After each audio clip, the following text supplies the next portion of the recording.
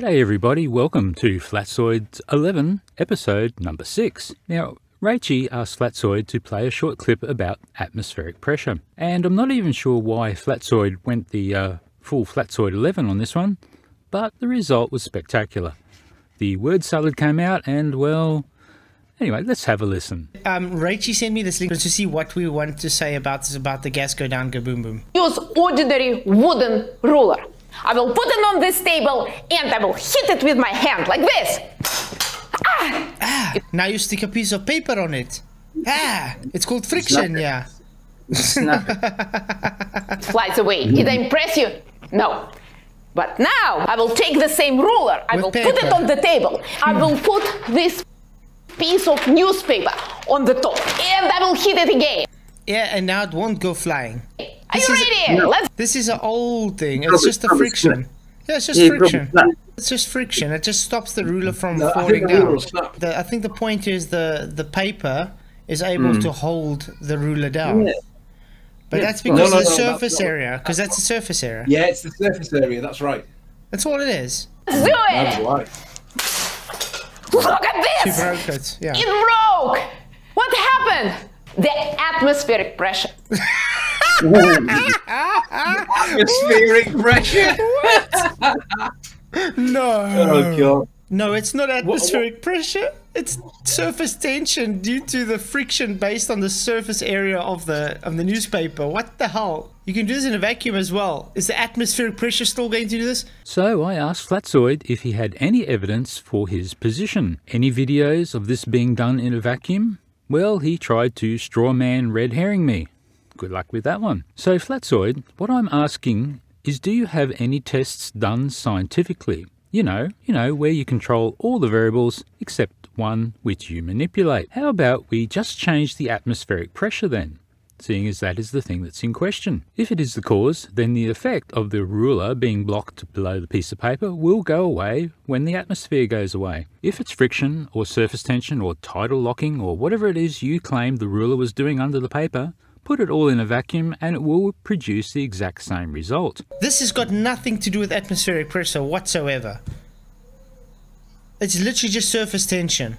It's the friction. I mean, have you guys seen when you take a phone book, two phone books, and you just put the pages in between each other like a mm. sandwich, and you can't pull it apart? The friction between there holds it together. Mm. It's the surface area. So, as I guessed, Action Labs did this exact test for us. Good bloke. So here it is with the same bat ruler, same bat ball, same bat drop distance, same bat paper, same bat chamber. The only thing that has been twiddled is that the air has been removed. Let's have a look. So I just have a block here, and then I just have a smaller ruler that I'm gonna put on the edge here, then put a piece of paper over it like this. Then I have a steel bearing that I'm gonna be dropping with a magnet. So I'm gonna try it once in atmospheric pressure, and then once at vacuum and see if there's any difference. Okay, first we'll do it in air. Three, two, one. Stays up just fine. Now we'll suck out the air and do it in vacuum. Okay, now we're at a pretty good vacuum in there. W- minus one atmospheres. Let's see what happens now. Three, two, one. Easily pops off of there. Look at that. So with no atmosphere in there to hold the paper down, the ruler just pops right off. So this is a pretty definitive test to show that it is atmospheric pressure that's holding the paper on there. Well, I think that is pretty conclusive, don't you, Flatzoid? Well, this is where it got more interesting. I saw Rachie in chat pop up another link, and the young fellow Flats clicks on it, and you know, you could have knocked old Wall down with a feather. It's Action Labs video. Oh, what a bummer. Well, there goes the last hour of recording and editing. May as well watch Flatzoid watching and see him eat some humble pie. I wanted to be the one serving it to him, but oh well, it, I'll take it anyway. And then Flatzoid does a very Flatzoid thing. He plays the first of the two tests that Action Lab did. This was the full atmospheric pressure one, and the paper was blocking the ruler just like normal because it was normal. And then Flatzoid says this. Uh, Rachel sent us again showing you did it in a vacuum. There we go, see? in a vacuum. There we go. She's Yeah. debunked. Not atmospheric pressure. Well, it looks like we're back on again, folks. Just make some new script and record some more action to rip into Flatzoid yet again. Show us it without the container to create the vacuum, Rachie. Don't show us that bit. No, but the point is, her argument was the atmospheric pressure causes this to happen. To so it, you know, he just dropped that uh, that um, that ball on there in a vacuum, and the surface area of the paper held it down because of friction. So it wasn't the atmospheric pressure that causes it. Making my point. So she was debunked. Well done, Action Lab. Woohoo! That's what I say. The people are very, very um how can I put it gullible just to believe just because she says something. That was not a vacuum. Mr. 42, there was a vacuum. Oh darn, Mr. 42, he's holding Flatzoid's feet to the fire. Well, into him, hologram man. Flatzoid failure number one. Well, Mr. 42 did get Flats to play it again. But just as dumb luck would have it, Flatzoid jumps into the video to play it and check out that pressure gauge, and he lands right in the middle of the second test this time, the full vacuum test. And Flat sees there is a vacuum on the gauge, and he starts calling Mr. 42 some names again.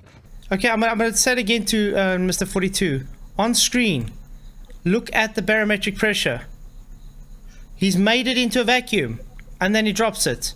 So stop telling me it's not a vacuum. Get with it.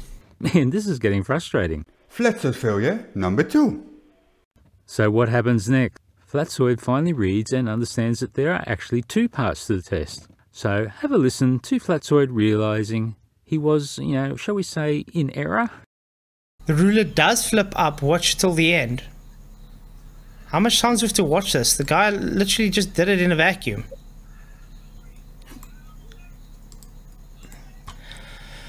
Oh, Sounds like tactics to not be um, debunking. uh, but we're gonna get there anyway. Okay, it's a full vacuum. Okay, drop it now.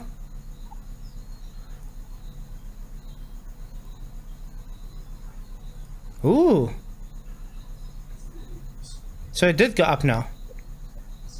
What's he saying there? Roller just pops right off. So this is a pretty definitive test to show that it is atmospheric pressure that's holding the paper on there. Hmm, could I be wrong? Well, Flatzoid took that humble pie rather well. I'm actually impressed and somewhat disappointed. I thought Flatzoid would begin deleting inconvenient frames in video, but oh well. Play some more. You know what? I want him to do it again. But I don't want him to use that box. I want to use a paper with another paper.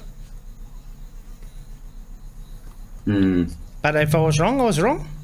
But definitely doesn't make. But it's not as. It, it is. It is the atmospheric pressure. No, no, no. It's not the atmospheric pressure. It's the pressure pressing on the piece of paper that they call atmospheric pressure. We just call pressure. But look But at that, this. because they want. but I gotta, I gotta say Yeah. something here. Look at this. Look at the gaps between here. And that would be Flatzoid failure number three.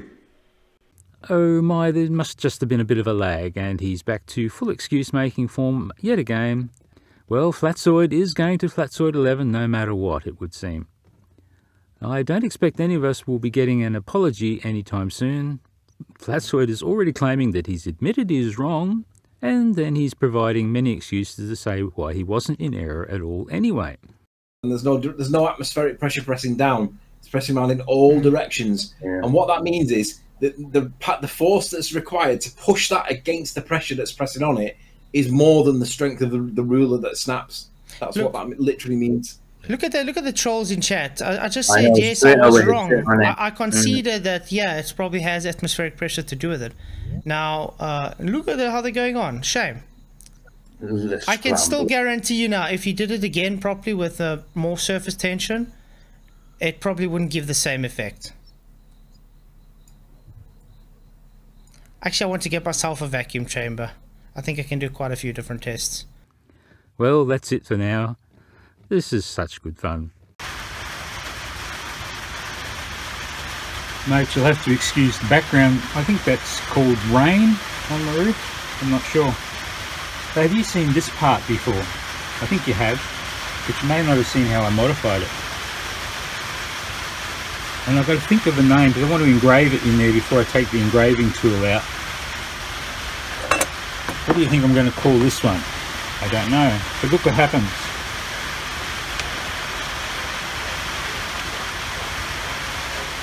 Have a laser beam on the North Pole. What do you reckon?